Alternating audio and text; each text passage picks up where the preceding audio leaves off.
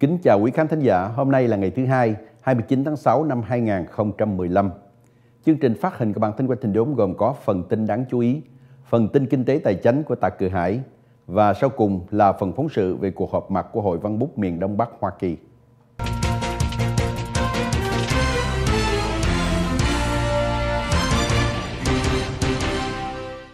Phần tin đáng chú ý gồm có những tin chính sau đây. Nghi can sát nhân vượt ngục thứ nhì bị bắt sau khi nghi can kia bị hạ sát. Cuộc đàm phán hạt nhân không đạt mục tiêu. North Carolina trông thấy cuộc tấn công của cá mập lần thứ sáu trong hai tuần lễ. Trước hết, kính mời quý khán thính giả theo dõi bản tin chi tiết. Chương trình cấp thẻ xanh nhanh chóng gia tăng với chú ý mới. Chương trình liên bang nhằm cấp thẻ xanh nhanh chóng cho người ngoại quốc đầu tư vào Hoa Kỳ đang thu hút sự chú ý của những vùng mới, kể cả các nước như Ba Tây, Nga và Việt Nam. Cùng lúc việc gia tăng nhu cầu từ Trung Cộng cho chương trình di dân đầu tư EB5 đang bị trì hoãn cứu xét đơn và cấp giấy chiếu kháng. Theo chương trình này, người ngoại quốc và gia đình cật ruột của họ được hợp lệ thường trú tại Hoa Kỳ nếu cá nhân đó đầu tư 500.000 Mỹ Kim vào một dự án trong một khu vực thất nghiệp cao để tạo ra ít nhất 10 việc làm. Việc tham dự chương trình sẽ cấp một con đường nhanh chóng tới thẻ xanh trong vòng không đầy một năm cho một số ứng viên. Trước đó, vốn có thể phải mất cả thập niên mới có được qua một sở làm hay thân nhân ở Mỹ. Người ngoại quốc trong chương trình này đã đổ gần 2 tỷ Mỹ Kim vào việc xây cất, kỹ nghệ làm phim và những lĩnh vực khác, chẳng hạn như hầm mỏ trong tài khoá 2013 là năm mới nhất có số thống kê.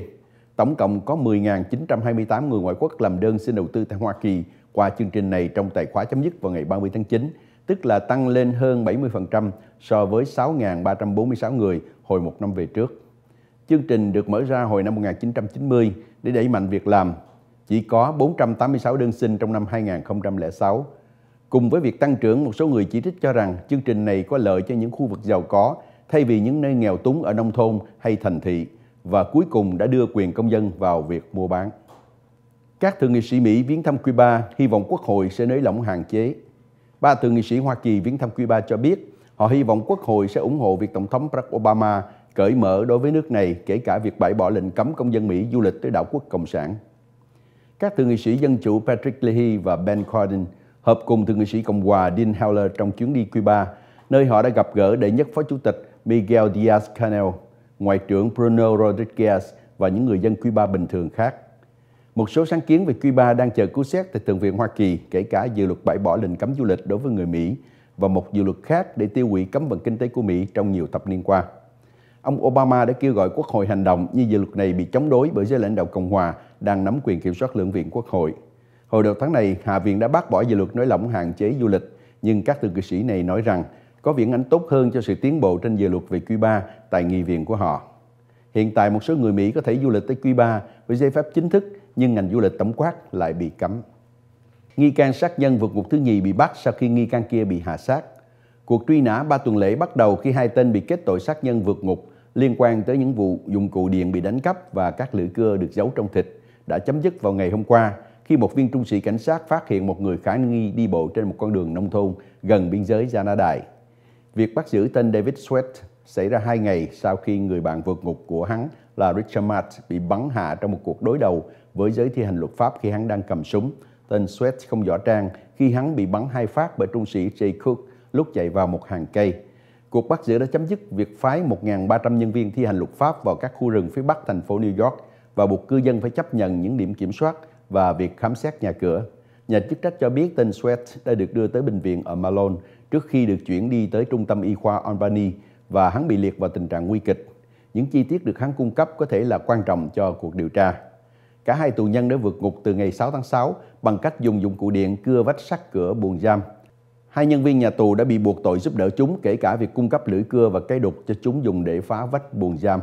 Hai tên này đã dùng tiêu để đánh lạc hướng chó đánh hơi trang truy đuổi chúng và dấu DNA của tên Sweat từ các lọ tiêu được tìm thấy tại một trại tù giam giữ chúng. Tên Sweat đang thụ án chung thân không được giảm án vì tội giết chết một phó cảnh sát ở hạt Prom hồi năm 2002. Tên Matt thụ án từ 25 năm cho tới chung thân vì tội giết và chặt khúc xác cựu sếp của hắn. Cuộc đàm phán hạt nhân không đạt mục tiêu. Một viên chức kỳ cựu Hoa Kỳ thừa nhận hôm qua rằng cuộc đàm phán hạt nhân Iran sẽ vượt quá ngày mục tiêu 30 tháng 6 khi Ngoại trưởng Iran chuẩn bị về nước để tham khảo trước khi trở lại để đẩy mạnh việc khai thông. Giới truyền thông Iran cho biết chuyến đi của ông Mohammad Javad Zarif đã được hoạch định trước. Sự kiện ông rời khỏi cuộc đàm phán quá gần ngày đáo hạn thứ ba này phản ảnh rằng cuộc đàm phán đã có cách để xúc tiến và nhu cầu của ông để nhận được chỉ thị về cách làm thế nào tiến hành những vấn đề mà các bên vẫn còn cách biệt. Trong số đó có việc Tehran để cho các chuyên viên Liên Hợp Quốc tiếp cận nhằm theo dõi việc tuân thủ của nước này đối với bất cứ thỏa hiệp nào. Cuộc tranh cãi về tiếp cận lại nổi bật lên hôm qua với việc tướng Iran Masoud Zazajeri tuyên bố rằng bất cứ cuộc thanh tra nào của người ngoại quốc đối với các trung tâm quân sự Iran cũng đều bị cấm. Nhưng Ngoại trưởng Đức cho rằng các hoạt động hạt nhân của Iran, cho dù diễn ra ở bất cứ nơi đâu, cũng đều phải có thể được kiểm nhận. Các viên chức nói họ không thể đoán được bao nhiêu ngày gia hạn mà cuộc đàm phán sẽ cần và ông Zarif tuyên bố với báo chí rằng ông chỉ dự trù trở lại vào ngày mai là ngày mà cuộc điều đình thoạt đầu được ấn định kết thúc với một thỏa hiệp. Trong nhiều tuần qua, cả bảy nước đều nhất quyết cho rằng ngày mai vẫn là ngày mãn hạn chính thức cho một thỏa hiệp. Nhưng trước việc thời gian sắp hết, một viên chức Mỹ kỳ cựu thừa nhận việc đó là không thực tế. Việc chậm trễ có thể kéo dài tới ngày 9 tháng 7 như là một phần thỏa thuận với Quốc hội Hoa Kỳ sẽ lập pháp sau đó có 30 ngày duyệt xét thỏa hiệp trước khi đình chỉ mọi chế tài của Quốc hội.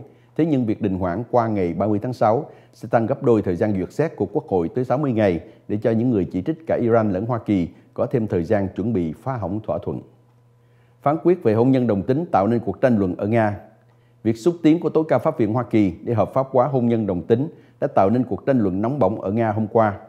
Trong việc chứng tỏ sự ủng hộ phán quyết lịch sử của tối cao pháp viện Hoa Kỳ, Facebook đưa ra một chức năng cho phép người sử dụng trang hoàng hồ sơ của mình bằng lá cờ cầu vòng của phong trào đòi quyền của người đồng tính và nhiều người Nga đã cho cộng thêm bộ phận lọc cầu vòng cho hình của họ.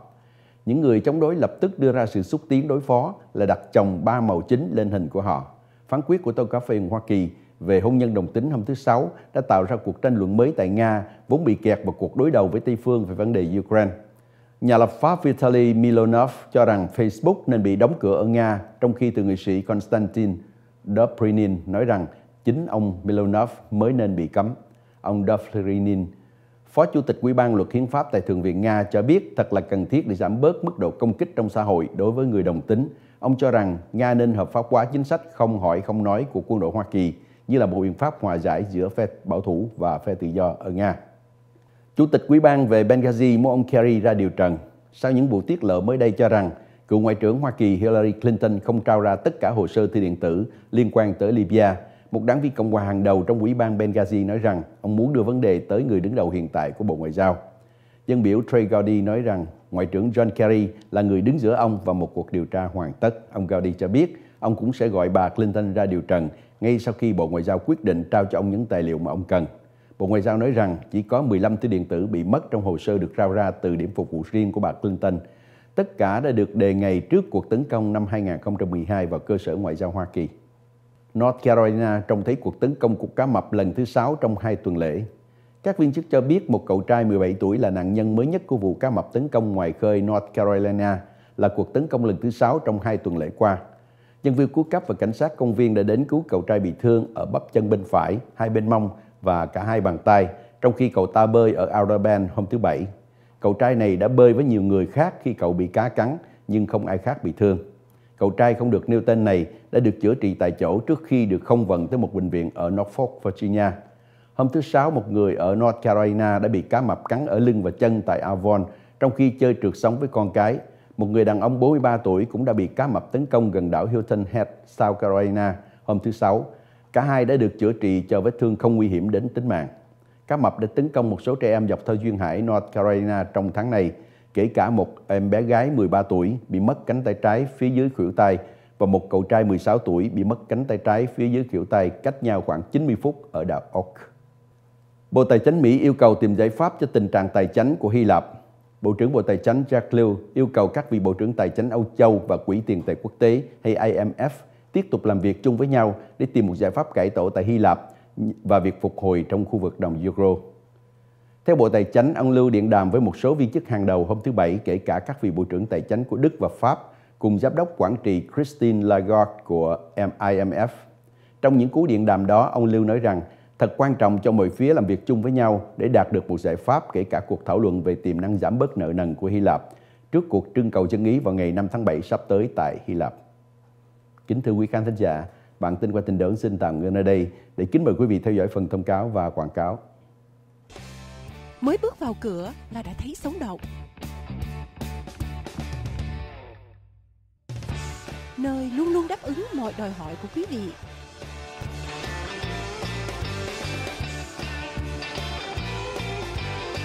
Nơi mà bè bạn, thức ăn ngon lúc nào cũng chờ đón.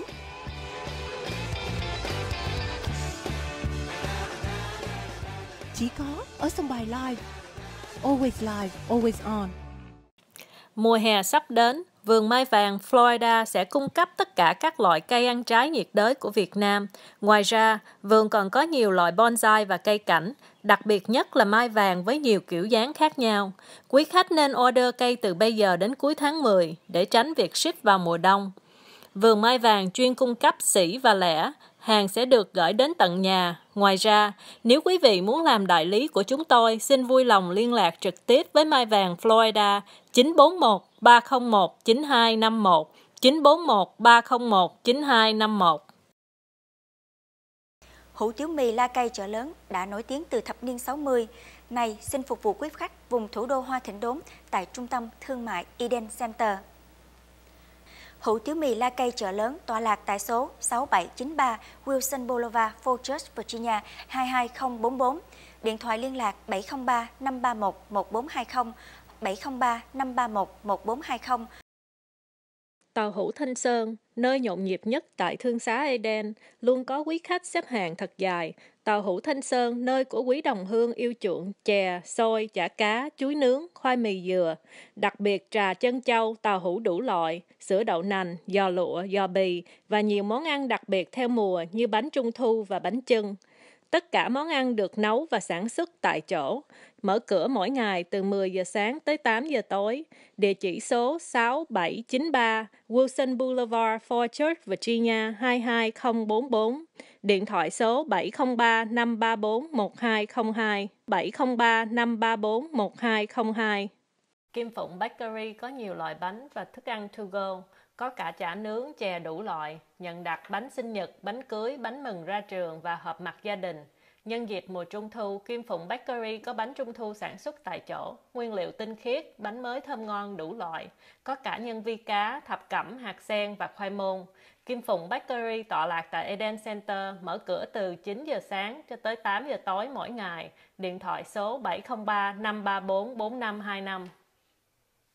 Nhà hàng Eden Kitchen có một thực đơn đầy đủ và các món ăn đặc sản Việt Nam như cơm tấm đặc biệt, bò lúc lắc, hủ tiếu Nam Vang, mì khô đồ biển, nem nướng kali, lẩu thập cẩm, canh chua cá kho tộ và chuyên trị phở. Nhà hàng Eden Kitchen nhận đặt tiệc sinh nhật, dạ yến cho các công ty và họp mặt hội đoàn, trang trí sang trọng, tiếp đón ân cần, mở cửa mỗi ngày, có nhận credit card. Nhà hàng được tọa lạc tại Eden Center 6793C Wilson Boulevard, Fort Church, Virginia 22044 bên phải của tàu hủ Thanh Sơn, điện thoại số 703 534 Eden hay 703 534 3336. Kobe House Một nhà hàng được khen ngợi sang trọng và sạch sẽ nhất vùng Thức ăn 100% không dùng bột ngọt, khung cảnh rộng rãi và rất thích hợp cho những hẹn hò công việc riêng tư. Sân khấu cùng với dàn âm thanh chuyên nghiệp, có hát cho nhau nghe mỗi tối thứ sáu từ 8 giờ 30 đến 12 giờ 30 sáng có Beer and Wine. Mở cửa 9 giờ sáng đến 9 giờ tối 7 ngày một tuần. Kobe House, bên trong Eden Center, số điện thoại là 571 2823 662. Ngụy Vũ và gia đình hân hạnh đón tiếp quý vị.